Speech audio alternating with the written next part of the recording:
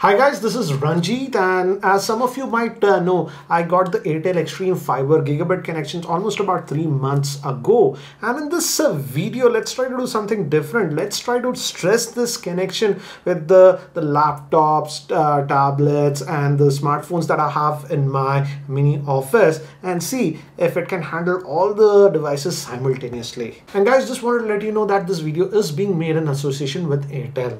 So guys, this is the Airtel fiber router that uh, I got. And actually this is a pretty good router. Uh, the range is very good. I didn't have to actually install any other uh, external router to this one. Has actually six different antenna. And this is the fiber connection that comes. And this supports both 2.4 and 5 gigahertz. And let's just move over here. This is my macbook air. And uh, let's just do a speed test. I just ran it. This is over wi-fi.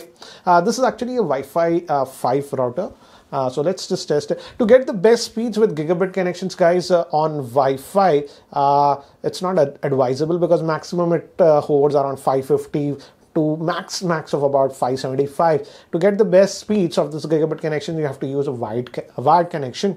Uh, so as you can see about 560 ish uh, we might touch uploads I sometimes uh, do get above 600 on uh, this one but this is on Wi-Fi. Uh, let's test it here on this other laptop. This I have connected the via wired connection and as you can see I actually ran it and we got an upload of 810 I uh, actually get a max of about 816 uploads. Downloads vary a little bit let's just run it again and see uh, how it does. And the beauty of this uh, gigabit connection is that you can have multiple devices uh, running at the same time. No slowdown that you will notice. Again as i've told you it is just going about 580 590 it's uh, basically the nature of the internet. Sometimes yes it goes up to about i've seen max of about 700 and uploads. I generally get the faster uploads uh, 850 870 also i generally get. When i upload youtube videos i generally hover about 800 megabits uh, when i'm uploading uh, youtube videos. As you can see this is with the wired connection.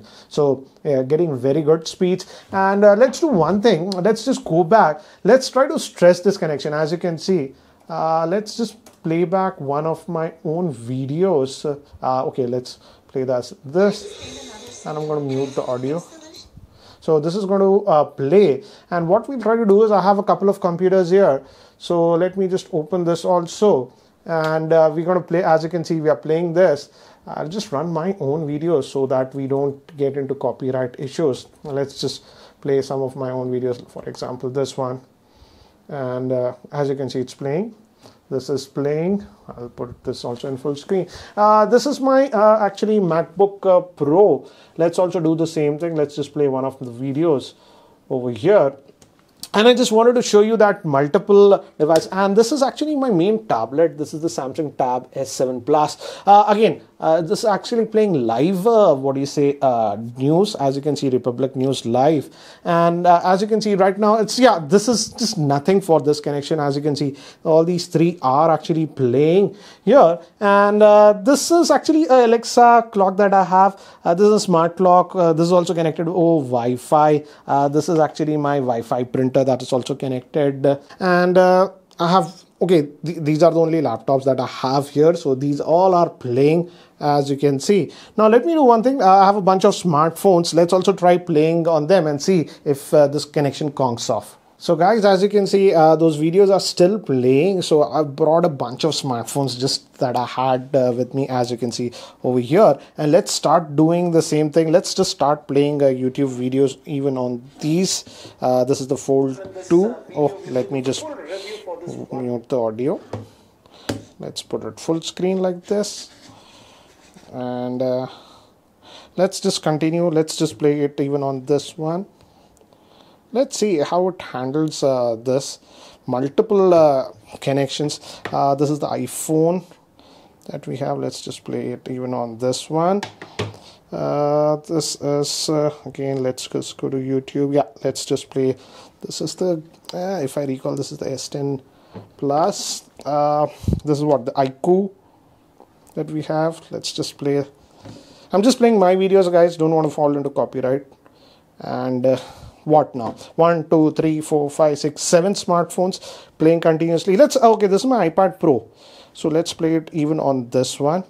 And now as you can see uh, if we just step back all devices are playing the video.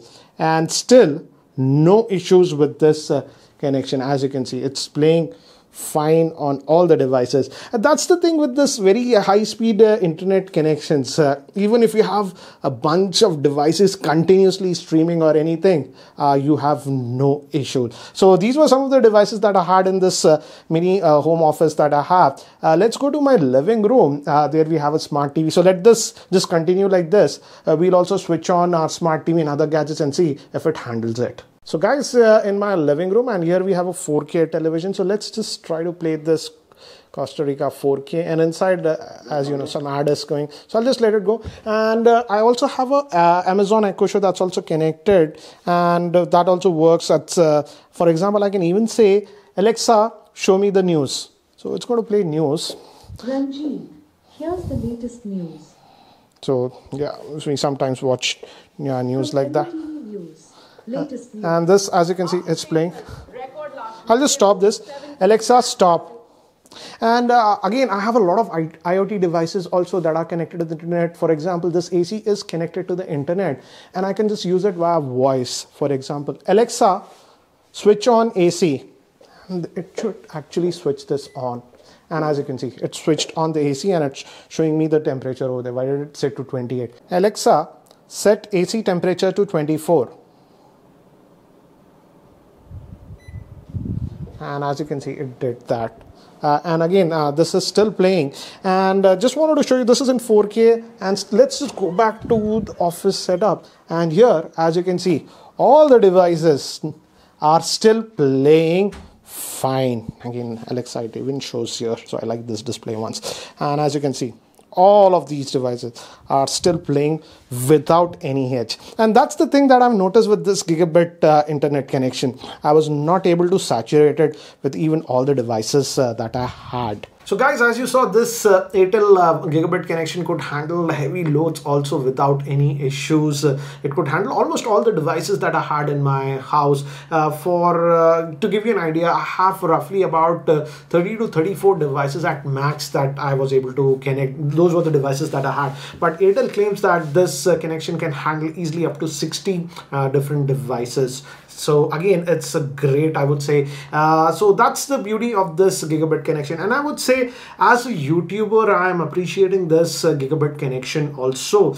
as uh, as you know uh, these days i'm uploading most of the videos in 4k and the video size can become very big anywhere from about 5 to about even 9 to 10 gigabytes of size and uh, with this uh, because this connection is so fast it's a gigabit connection even those big 4k files upload so fast even before i can finish writing my description, uh, the video is uploaded. And I also feel uh, this is a good connection for hardcore gamers also uh, because I notice the ping levels are very good on this connection. And also we know that if you are a sort of a hardcore gamer, these days many of the games are have become very big. That's about 80 to 120 gigabytes in size. And uh, yes, as the speed of this connection is really fast, uh, gamers can take advantage of that. Also in terms of reliability, I've been using this connection for almost more than three months now and it never went down. So in terms of reliability also it's very good. And I noticed that even uh, when power goes away in our society, this connection actually does not go down. Uh, it's actually connected to my UPS. So I can even use the connection uh, even when the power goes out. So I like that. So in terms of reliability, it's very good. Uh, but what do you guys think about this Airtel fiber connection? And guys, if you have an Airtel fiber connection, do let me know your experience in the comment section below. Anyways, guys, that's it for now for this video. And if you guys are still not subscribed to YouTube channel, hit that subscribe button. This is Ranjit and I hope to see you in my next video. Take care guys.